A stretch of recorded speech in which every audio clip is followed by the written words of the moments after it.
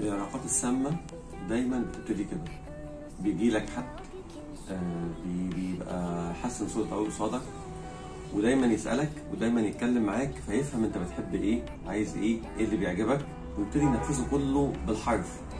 ويعمل لك النضارة نفس النضارة اللي انت شايفها دي في الفيديو نفس النضارة دي. نضارة آه، مختلفة تماما فاكر نضارة محمد صبحي في المسرحية نفس النضارة دي بالملي.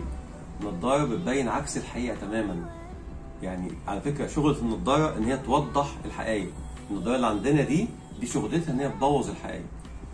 أوكي؟ دي اسمها نضارة المشاعر. فدايما النضارة دي لما بتتلبس أنت بتشوفش آه العيوب ما بتشوفش السوء ما بتشوفش المشاكل ما بتشوفش الخيانة ما بتشوفش الغدر ما بتشوفش ما بتستشرفش أنت المفروض في أي علاقة أنت بتحس هي رايحة فين يعني؟ يعني بقى يعني أنت حتى لو دخلت في شغل بتبقى عندك فكرة أنت يعني هتوصل لغاية فين. إحنا رايحين لحد هنوصل لحد فين؟ في العلاقة دي مفيش الكلام ده موجود. النضاره دي بتمنع الكلام ده كله خالص. لحد ما تلاقي نفسك كده فجأة فجأة. لو أنت طبعا عملت زي البنت كده وكنت قوي وقدرت توصل لمرحلة إنك تكسر النضارة دي ودي للأسف ما بتحصلش.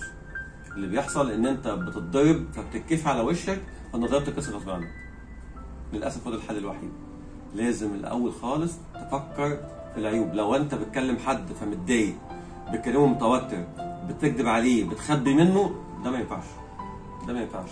ألف ب في أي علاقة هو الأمان الأمان الأمان والحنان. أوكي؟ أي حاجة غير كده تبقى علاقة سامة.